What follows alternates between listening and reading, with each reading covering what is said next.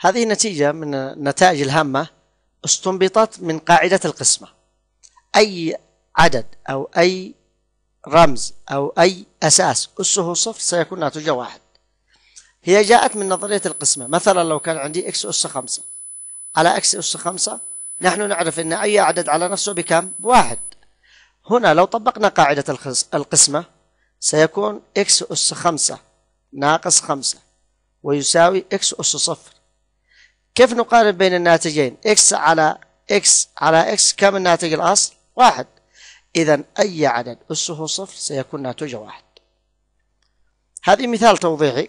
نطبق فيه هذه النتيجة. n أس صفر في x أس صفر في y n أس صفر وفق القاعدة السابقة سيكون ناتجها واحد. في x أس صفر عبد الرحمن ناتجها كم وفق القاعدة هذه؟ بواحد ممتاز.